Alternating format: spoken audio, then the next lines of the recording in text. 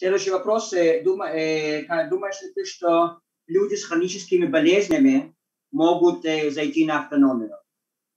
Да, могут. У меня сегодня был эфир а, с женщиной, которой 72 года, и она без желчного пузыря.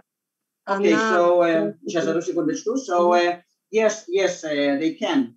Uh, today I had a program uh, on the internet or somewhere on the radio on the internet with a woman who is uh, be, uh, beyond 70 and uh, she doesn't have um, i'm just um, it's not bladder but um, um, let, let me um, let me check how they say it in english. Just a moment.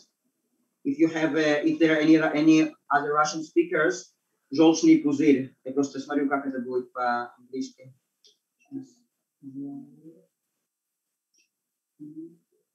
Ah, a gallbladder.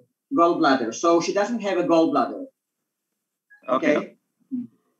Да, да, Света, и что, и что, ну, и как, как у нее успехи? Да, и если это делать очень деликатно и очень экологично, то я думаю, что 90% людей могут спокойно заходить на сухие дни.